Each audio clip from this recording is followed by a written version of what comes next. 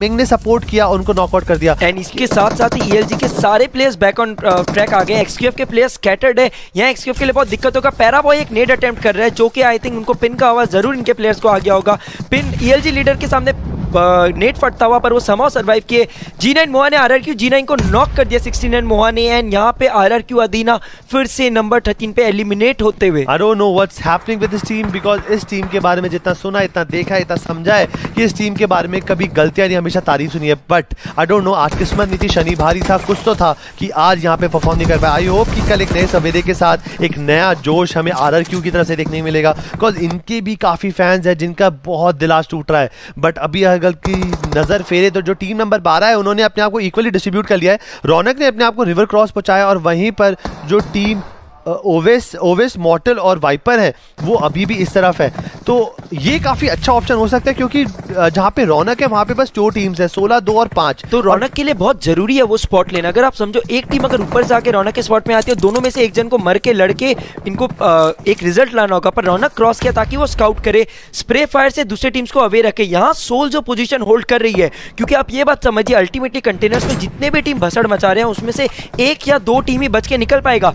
पर सोल जहाँ अभी होल्ड कर रही है। आई थिंक ये गेम उनके लिए वो हो सकता है जो इस पूरे टूर्नामेंट के तट पूरे जो टूर्नामेंट का जो भी पॉइंट्स टेबल है, उसको बदल दिया जाएगा। पर्पल मूड फंसी हुई है टीम नंबर 16 फंसी हुई है A R G E L G सब फंसे हुए हैं। एक्सक्यूएफ शायद नॉकआउट हो चुकी है, एक बंदा बचा उनका। आर आर क्यू नॉकटेन यहाँ पे बहुत ही अच्छा खबर आते हुए कि जो नेक्स्ट जोन है, वो भी टीम सोल के बहुत ही करीब है।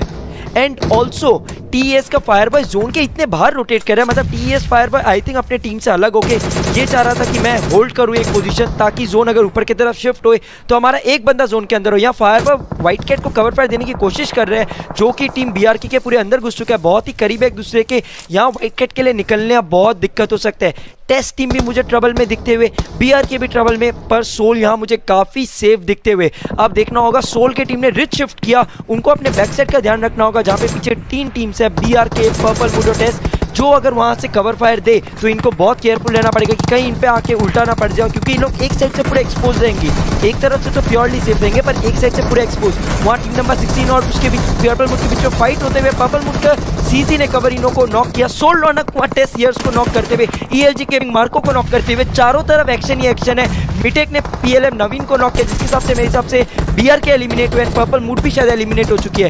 टीक्यू का मिस्टेक बहुत ही बेहतरीन गेम प्ले के साथ ईएलजी के बेजाई को नॉक किया एंड बीटीआर भी मुझे गेम में वापस आते दिख रही है। बिल्कुल सही कहा आपने। और ये सारा एक्शन कंटेनर में हो रहा है और हमारी जो दूसरी टीम है सोल वो फुल पावर एंजॉय करिए और वहाँ पे टेस्ट के फायर बॉय की मुश्किल में होंगे। अब वो धीरे धीरे इस चीज़ को हंट कर सकते हैं बिकॉज़ पानी के अंदर वो शूट नहीं कर सकते। अब रौनक अंदर से देख के बता पाएँगे कि कहाँ पर और तुम कहाँ पे शूट कर सकते हो और शायद तुम्हें किल मिल पाए। बिकॉज़ जो पीएलएम के जासपर है, वो एक गोली दूर है, बस उनकी मौत यहाँ पे कन्फर्म हो जाएगी। बट इस चीज़ से एक कन्फर्म हो जाएगा कि इस गेम के अंदर यहाँ पे सोल की रैंकिंग में काफ़ी फ़र्क पड़ेगा। आठ टीम बची हैं, इक्कीस प्लेयर तेईस मिनट ऑलरेडी चुके हैं और गेम का जो मोमेंटम है बहुत ही शानदार चल रहा है। और अब धीरे धीरे किल्स यहाँ पे सोल की तरफ़ भी बढ़ेंगे क्योंकि उनको सांस लेने जब ऊपर आना पड़ेगा, जैसे वो ऊपर आएँगे, उनको पता चल जाएगा कि किस सिचुएशन में कहाँ पर है। बट यहाँ पे पर्पल मूड एलिमिनेट हो चुकी है। काफ़ी अनफॉर्चुनेट था। और आप ये देखेंगे ओवेस को यहाँ पे जासपर की किल मिली है। रौनक ने यहाँ पे टेस्ट के ईयर्स को निकाल दिया। अब हमारे शेयर धीरे धीरे गेम के अंदर वापस आ रहे हैं। सही बात है। अठारह लोग बचे हैं सात टीम ही बचे हैं। सोल के पास बहुत अच्छा पोजिशन है। वाइपर पिक ऑफ़ हो चुका है क्योंकि टेस्ट के तीन बंदे ऊपर आ चुके हैं। यहाँ गेम बदल सकता है क्योंकि एक बहुत ही प्यारा नेड आया टेस्ट की तरफ़ से। चलो पर ओवेस और वाइपर ने उसको डॉच किया। मॉडल को यहाँ पे कवर फायर देना होगा अपने आप को लेफ़्ट साइड से सुरक्षित रखते हुए। टेस्ट टीम बहुत ही डिफ़िकल्ट सिचुएशन से bounce back can suddenly Raunak मुझे जोन के बाहर दिख रहा है। पानी में इतना बड़ा डैमेज लेगा। सिक्स जोन चल रही है गेम में। तो रौनक अगर पानी के अंदर नॉक हो जाए तो फिनिश हो जाएगा। आई थिंक वो विद इन द जोन है पर उसको यहाँ बहुत केयरफुल रहना होगा। बात करते हैं रिजेस के तो यहाँ पे टीम्स के बीच फाइट चले टेस्ट फायर बॉय का बहुत ही प्यारा नेट सोल ओवेस से कनेक्ट होते हुए। फिर से यहाँ पे ओवेस नॉकआउट हो गए बट नेवर माइंड हमारे पास वाइपर है। वाइपर फिर से उनको रिवाइव करेंगे और ओवेस वहाँ पे आके फिर से आ चुके बस उतनी देर में टी क्यू मार्को ने एल के लीडर को इंस्टेंटली नॉकआउट कर गेम से बाहर कर दिया। ये जो मेन फाइट हो रही है ना सारी अट्रैक्शन कंटेनर पे चल रही है और लोगों को ये नहीं पता कि असली जो जीत है वो यहाँ पे छुपी हुई है। और ये एक मौका है। ये बहुत बड़ा मौका है क्योंकि नोवा जो अभी दो चिकन डिनर निकाल चुकी है, वो भी एलिमिनेट हो चुकी है। पाँच टीम चौदह प्लेयर पच्चीस मिनट होने को आए गेम में। बस अब सब्र का खेल है, सब्र खाना है। किल्स कोई नहीं किल्स आ जाएँगी। बट चिकन डिनर बहुत ज़रूरी है। टीम सोल यहाँ पे अभी मैं मार्क करना चाहूँगा एकलौती टीम है एआरजी के साथ सॉरी जो फोर मैन के साथ खेले हैं। बाकी टीम्स में एक बंदे दो बंदे ऐसे बचे हैं। तो यहाँ इनके पास बहुत एडवांटेजेस पोजिशन ऑल दो जोन थोड़ा इनके लिए फेवर में नहीं रहा क्योंकि व्हाइट कैट ने अपने टीम के लिए जोन होल्ड किया। अब सोल को यहाँ पे फाइट लेना होगा व्हाइट कैट से बचते हुए क्योंकि अगर लेफ़्ट साइड से ज़्यादा एक्सपोज हुआ तो व्हाइट कैट दो ईएलजी का ब्रॉन्जो मैक्रो को स्पॉट किया एंड सोल टॉप फोर में आ चुकी है इस गेम में। यस अब मुझे टॉप फोर से कोई लेना देना नहीं है। मैं बस यहाँ पर अपनी टीम अब धीरे धीरे रिच को क्रॉस करके आगे बढ़ेंगे एआरसी के प्लेयर ओके माय गॉड यहाँ पे वाइपर ने फाइबर को पिक ऑफ़ कर दिया थोड़ी सी गलती होगी थी वाइपर ने उनको इंस्टेंटली गेम से बाहर निकाला।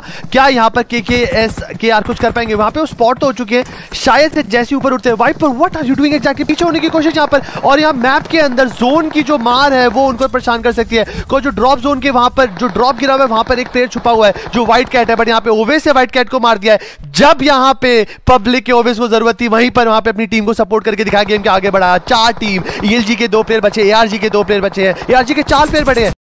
तो यहाँ पे सोल के लिए काफ़ी इंपॉर्टेंट गेम हो सकता है। क्योंकि ऐसे जब तक कुछ करते मोटर को नॉकआउट किया बट वाइपन ने उनकी गेम के अंदर एंडिंग कर दी है। तीन टीम दस player thug emotion out of control हो रहे हैं। चलो लास्ट सर्कल की बात करते हैं। टीम सोल एआरजी और ईएलजी यहाँ पे टीम सोल के चार बंदे अलाइव है। एआरजी के चार बंदे एलाइट गेमिंग का एक ही बंदा बचा है, जो कि बेज आई है। सोल की टीम पूरी मोटिवेटेड है। एआरजी के बंदे स्प्रेड है। सोल को थोड़ा डिफेंसिवली बट उनके फॉरवर्ड फ्लैंकर्स को एग्रेसिवली खेलना होगा, क्योंकि एआरजी के चारों बंदे हमने देखा जब मारना जानते हैं तो लोग बहुत अच्छा मारते हैं, पर सोल को याद रखना होगा। अब लास्ट सर्कल उनके उनके एडवांटेज के लिए एआरजी का हमने लास्ट सर्कल गेम देखा है। इतना उमदा नहीं खेलते जितना सोल खेलते हैं। Four v four v one की फाइट है। बैलेंस आउट करने की बात है अपने एग्रेशन और अपने कंपोजर को और अपने पोजीशन को होल्ड करने का। वाइपर मुझे वहाँ पे राइट फ्लैंक करते हुए दिख रहा है लेटते हुए। ओवेस को नेट कनेक्ट हुआ पर ओवेस ने थोड़ा डैमेज दिया नॉक ऑफ़ नहीं हुआ बहुत ही सही रहा ये। एआरसी का कैंडीज रैंडम स्प्रे करते हुए ओवेस का रिटेलिटी फायर एआरसी सारा से कनेक्ट हुआ। एआरसी सारा नॉक होते हुए अब एआरजी बहुत ही ट्रबल में है। तीन बंदे बचे ओवेस ने कैंडीज को भी नॉक किया सोल ओवेस पब्लिक एंड यहाँ बचे एआरजी के दो ही बंदे एक प्लेनेट एक लेपिस सोल के चार बंदे ओवेस को हिल करने का मौका लेना चाहिए। मेरे हिसाब से वो फुल्ली बुस्टेड होगा। वाइपर ने यहाँ सारा को फिनिश ऑफ़ किया। सोल के झोली में है किल्स एंड छह किल के साथ सामने बचे हैं उनके चार ओपोनेंट ये बेस्ट टाइम है सोल के लिए चिकन डिनर पिक ऑफ़ करने का। एआरजी लेपिस प्लेनेट और ईएलजी के बंदे बैंडेज यहाँ लगा रहे हैं ओवेस क्योंकि वो रियलाइज़ करे अभी वो टीम के लिए सबसे आगे एडवांस पोजिशन में रौनक ने यहाँ कैंडिस को फिनिश किया टीम के लिए साथ खिलाते हुए टीम सोल यहाँ चिकन डिनर की ओर बढ़ते हुए। एंड यहाँ पे एक नेड आया जो मुझे लग रहा है काफ़ी टीम सोल के करीब गिरा। यस वाइपर के बहुत ही करीब था। वाइपर यहाँ पे 50 परसेंट हेल्थ में आ गए उनको अब खुद को रिवाइव करना होगा। लेपिस धीरे धीरे जोन के अंदर बढ़ते हुए। यहाँ मेरे हिसाब से लेपिस स्पॉट होगा, क्योंकि वहाँ पे दूँगा इस जज्बे की जो आपकी यहाँ पे बोल रही है बात। ओवेस के पास यहाँ पे फ़र्स्ट एड नहीं है तो यहाँ पे बैंडेज से काम चला रहे हैं बट वाइपर ने लैपिस को पिक ऑफ़ कर लिया है। एआरजी है जो यहाँ पर कंटेंडर है चिकन डिनर की बट वहाँ पर एक एक करके उनको हंड डाउन कर रहे हैं। एक एक प्लेयर बचा है। तीन छह प्लेयर है चार सोल है एक एक और अब वो टाइम आ चुका है। यहाँ बर्लिन के अंदर झंडा गड़ेगा ही गड़ेगा। सही कहा आपने। सो यहाँ पे ईएलजी के बेजाई ने सोल को फॉरवर्ड आते हुए वाइपर फॉरवर्ड आते हुए सोल ओवेस के रैंडम से बेजाई ओवेस के बहुत यहाँ पे टीम सोल। ओवेस पब्लिक और इसी के साथ टीम सोल जो इंडिया से गई है बर्लिन में यहाँ पर दूसरे दिन के अंदर आखिरी रैंगल में दिखा दिया कि कौन है वो अल्टीमेट टीम जो अभी भी कुछ भी करके दिखा सकती है। चिकन डिनर मांगने थे चिकन डिनर यहाँ पर सर्व कर दिया है हमारी ऑडियंस ने and yes mister Raunak Owais Viper Mortal everyone just moving कि यहाँ पर अंडर एस्टिमेट करा, पीछे से आएँगे और पहली फुर्सत में सबको निकाल देंगे। बिल्कुल सही कहा यहाँ अपने एंड टीम सोल का finally chicken dinner game number ten में